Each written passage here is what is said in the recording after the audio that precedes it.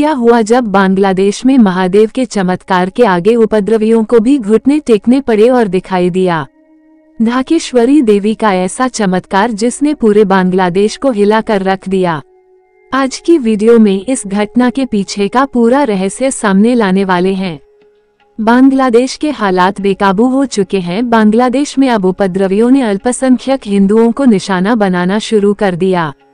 भीड़ चुन चुन कर हिंदुओं को निशाना बना रही है, घरों में आग लगाई जा रही है, दुकानों में लूट जा रहा है।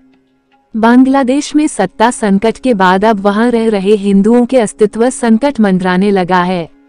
बांग्लादेश में हिंदुओं की संख्या एक करोड़ इक्कीस लाख के आसपास है, वैसे तो ये सालों से प्रताड़ित हो रहे थे। लेकिन अब उनके साथ खुलेआम अत्याचार हो रहा है। वहाँ कट्टरपंथियों को अचानक नई शक्ति मिल गई है और इस शक्ति के शिकार हो रहे हैं वो हिंदू जो बांग्लादेश में किसी तरह जो बांग्लादेश में अपनाक्षित राज्य जीवन गुजार रहे थे।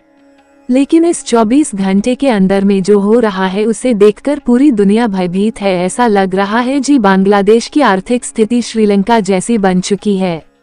वो अब धार्मिक रूप से पाकिस्तान की राह पर तीव्र गति से चल चुका है क्योंकि जिस तरह पाकिस्तान में सत्ता का रिमोट कट्टरपंथियों के हाथ में होता है, अब बांग्लादेश में भी कुछ ऐसा ही दृश्य नज़र आ रहा है। इसके सबसे ज़्यादा पीड़ित हिंदू परिवार है जिनके वीडियो सोशल मीडिया पर वायरल हो रहे हैं।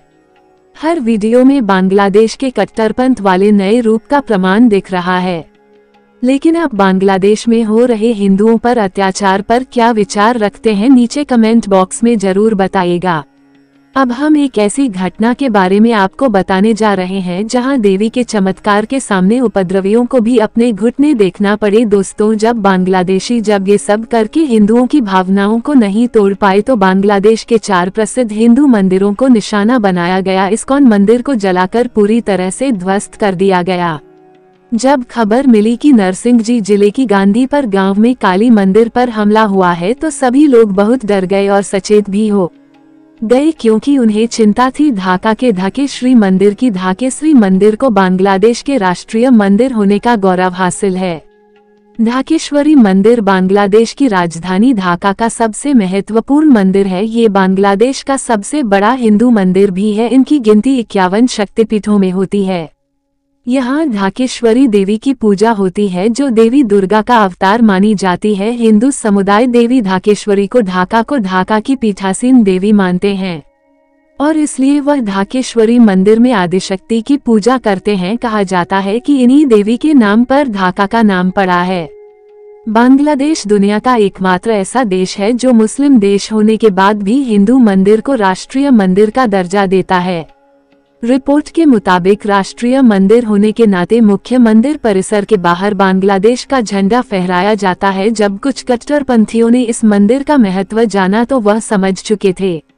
अगर हिंदुओं को सबसे ज़्यादा ठेस पहुंचानी है तो उनके सबसे मुख्य को ही तबाह करना होगा, जिसके बाद 150 से 200 लोग इस मंदिर को निशाना पहुँचने के लिए ढाका पहुँचे।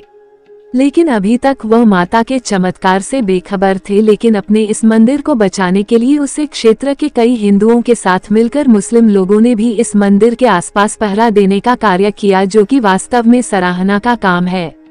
लेकिन सौ से दो सौ उपद्रवियों के सामने वे लोग लिख नहीं पाए और उपद्रवियों ने मंदिर के अंदर प्रवेश करना प्रारंभ कर दिया। वे एक एक करके के मंदिर की इमारत को ध्वस्त करने की कोशिश कर रहे थे। लेकिन तभी अचानक से महादेव और माता शक्ति का एक ऐसा इस चमत्कार को देखने के बाद उपद्रवियों के भी होश ठिकाने आ गए और उन्हें अपना विरोध रोकना पड़ा। उसे स्थान पर अचानक से तेज वर्षा होने लगी और बादलों की भयंकर गर्जना सबको भयभीत कर रही थी। ऐसा लग रहा था, मानो देवी को क्रोध आ गया है, लग रहा था अब सब कुछ भस्म हो जाएगा। इसी बीच एक इंसान जो माता के प्रांगण में उपस्थित सिंह को क्षतिग्रस्त करने की कोशिश कर रहा था। उसके ऊपर आकाश या भयंकर बिजली का प्रहार हुआ और वह उसी स्थान पर जाकर खत्म हो गया। यह नज़ारा देखकर सभी उपद्रवी भयभीत हो गए और मंदिर के बाहर भाग आए। तब तक पहरा दे रहे सभी हिंदू मुस्लिम लोगों को भी होश आ चुका था और वह भी इस माता के चमत्कार को शत शत प्रणाम कर रहा था। किसी भी उपद्रवी ने ढाका में स्थित ढाकेश्वरी मंदिर में घुसने का प्रयास नहीं किया, लेकिन कुछ समय जब बाद जो माहौल फिर से शांत हुआ, पत्नियों ने अलग अलग क्षेत्र में फिर से हिंसा फैलाना शुरू कर दिया। बांग्लादेश मीडिया के मुताबिक पंचगढ़ में कई हिंदुओं के घरों में वे कोई के परिषद के महान मुनेन्द्र कुमार नाथ ने बताया कि ऐसा कोई क्षेत्र या जिला नहीं बचा है जहाँ हिंदुओं पर हमले नहीं हुए, उनके पास अलग अलग इलाकों से लगातार हमले की जानकारी आ रही है। रिपोर्ट के मुताबिक हिंदुओं को पीटा जा रहा है। उनकी दुकानों में लूटपाट की जा रही है। इन हमलों के कारण हिंदू डर के साय में रह रहे हैं, बताया जा रहा है। दिनाजपुर कस्बे दूसरे अब जिलों में दस हिंदुओं के घरों पर हमला हुआ है। हमलावरों ने कस्बे के रेल बाज़ार है में एक मंदिर में भी तोड़फोड़ की है। खानसामा उप जिला में तीन हिंदुओं के घरों पर हमला किया गया। लक्ष्मीपुर में गौतम मजूमदार ने बताया कि शाम साढ़े सात बजे 200-300 से ज़्यादा हमलावरों ने उन्हें उनकी दो मंजिला इमारत में आग लगे दी। बांग्लादेश में हिंदुओं के खिलाफ हिंदुओं पर मसाला नहीं है, ये सिर्फ़ हिंदुओं का मसाला नहीं है, बल्कि यह इंसानियत और मानवता का सवाल है। क्योंकि ये हिंदू बांग्लादेश के नागरिक हैं, उनके घरों को लूटा जा रहा है, उनके ही देश में इन्हें घर, संपत्ति, ज़मीन, दुकान, हर चीज़ से बेदखल किया जा रहा है। इससे बड़ा अपराध से बड़ा अत्याचार और क्या हो सकता है? बांग्लादेश हिंदुओं पर हो रहे हैं। इतनी भयंकर अत्याचार पर आपकी क्या प्रतिक्रिया है? नीचे कमेंट बॉक्स में ज़रूर बताएगा। रोज़ाना ऐसी सत्य घटना पर आधारित वीडियो को देखने के लिए हमारे चैनल को सब्सक्राइब करके बेल आइकन को प्रेस कर ले। अभी के लिए आप सभी दर्शकों